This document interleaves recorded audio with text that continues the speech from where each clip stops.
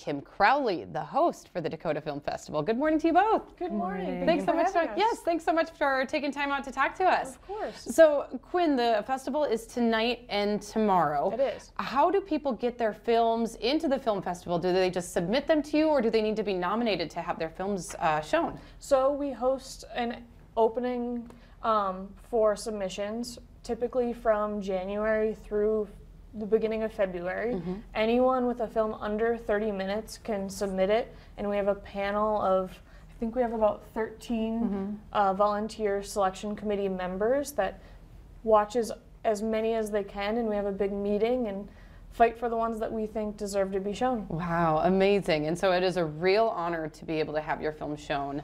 Uh, really is. to be make it through that selection process. Yeah, I believe this year we had about 120 submissions of films, and we were only able to show 14 over the two nights. Man, so so are they able to resubmit their movie for the next year? I guess they're maybe working on other things while they're doing that, but is that a possibility that they can resubmit it for selection the following year? We certainly don't eh, always give us your film again. Yeah. We'll take another, another look, look at, at it. Maybe we'll like it more the second time. um, but we typically say anything that's been created in the past two years. Okay. We don't want it to be too Super, dated. yeah. Mm-hmm. But yeah, submit it again. Keep submitting. Submit something new. Yeah, excellent. Okay, and Kim, you're the host this year. I'm the host this evening, yes. So, how did you get involved with the film festival? Has film been something that you've been interested in your whole life?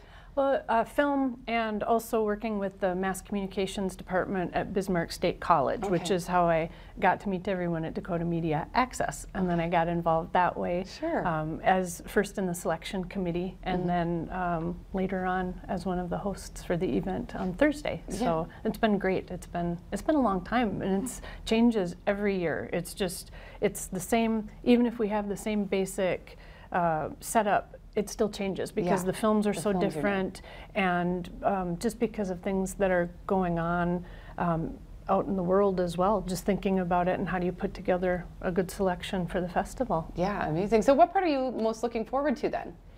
I like having the panel discussions because it's, of course, viewers can make their own decisions. It's, we're not there to tell them anything, but it really brings up some interesting points as well um, and kind of highlights some of the things that people either have questions about or that they just want to talk more about. So, Sure. panel discussions are a great addition to the program for sure. Absolutely. So, Quinn, what kind of um, exposure do you think that this film festival gives to both new and experienced people working with films and submitting those? So, short films as a form, I think, is a great starting off point for a lot of filmmakers. It's the cheaper option than making a feature film. So, it's a great starting point, and I think something that is really cool to have in North Dakota mm-hmm. because we don't have a very large film presence so, and we don't get to screen short films a lot. So, for people that haven't seen short films very often, can only watch on their laptop, mm-hmm. it's a chance to see it up on the big screen. And then we're bringing it, we have three filmmakers coming tonight that are, we'll have panels after. You'll get to meet other filmmakers and get to see your film up on a big screen is always a very special thing. Yeah, I can't imagine that feeling to see all that hard work culminate and be able to show your friends and family as well as strangers in the audience what you've worked on. So, uh, what I think is interesting is that it's two separate nights. It's tonight and tomorrow, but each night has like a different theme. And we have about a minute left. So, can you quickly kind of explain those those nights, how each one is different? Yeah, so tonight will be, we call it a human interest forward night. It's really our discussion night. We have three filmmakers coming in that will have discussions about their film. There are three great documentaries, and then we have two animated pieces. One is about the Holocaust and uh, someone telling their story, and it's a wonderful little film. Was nominated for an Oscar this year, and then we have what they are saying is the first AI created film. my and we'll have discussions about what that means. We'll have discussions with filmmakers.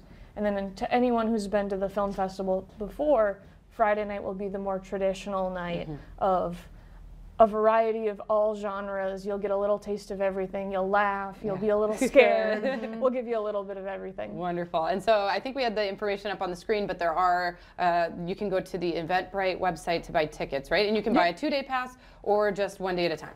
Yep, and you can go to our website at dakotafilmfestival.org for that, or you can show up at the door. Tickets are a bit more expensive that way, but we can get you a ticket. Yeah, buy them in advance if you want to save a buck or two. Wonderful. Well, thank you so much, ladies, for joining me today. It was a wonderful mm-hmm. opportunity to have you. Thank you so Thank much you. for having us. Yes.